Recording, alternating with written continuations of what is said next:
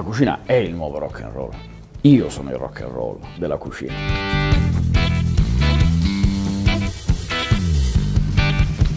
Avevo in mente altri due o tre lavori che con, concernassero il fatto di lavorare con le mani. A me l'idea di stare tutta la vita dietro una scrivania da ragazzino un po' mi spaventava. Mio padre che era un amante della cucina casalinga, napoletano, tutte le domeniche cucinava, faceva il ragù, faceva eh, la carne al sugo, faceva il sartù di riso e io la mattina sentivo questi profumi della domenica a casa che mi piacevano tantissimo. Eh, mi svegliavo quindi sentendo il profumo del ragù che mio padre diceva sempre che il ragù deve pensare.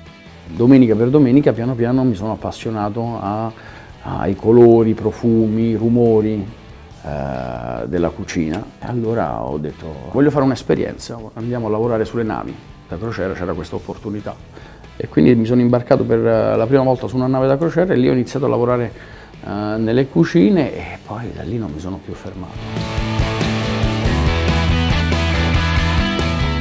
mai fatto grandi scuole di cucina, sono molto un autodidatta sotto quel profilo là. Eh, ho lavorato in tante cucine, in giro per il mondo, da New York, San Francisco, Los Angeles, Londra, eh, Copenaghen, sono stato in giro, Parigi.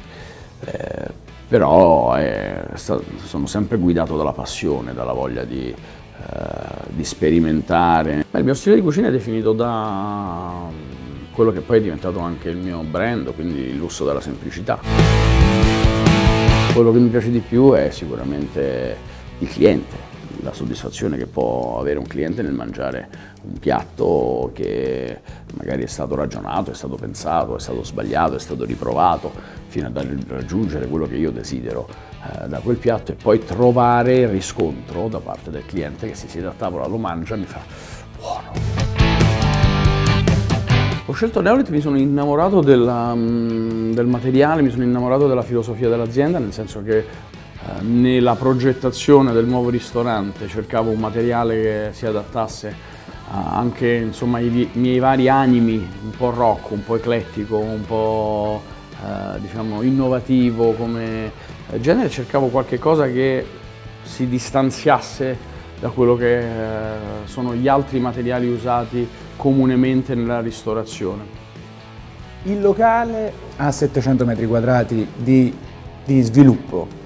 Io penso che di Neolit ne abbiamo usati almeno 900 di metri quadrati, perché oltre a tutta la sala ristorante che abbiamo usato un nero Zimbabwe, il, il rivestimento del bancone dove abbiamo usato un calacatta, il rivestimento dei bagni sempre calacatta, per la cucina abbiamo usato un, un iron curtain per i pavimenti per avere un contrasto molto forte sulla cucina che era industriale, quindi in acciaio. Poi abbiamo usato per i pavimenti dei bagni eh, Bohème, un materiale che abbiamo usato a 360 gradi in tutti gli ambienti del ristorante e per tutti gli usi.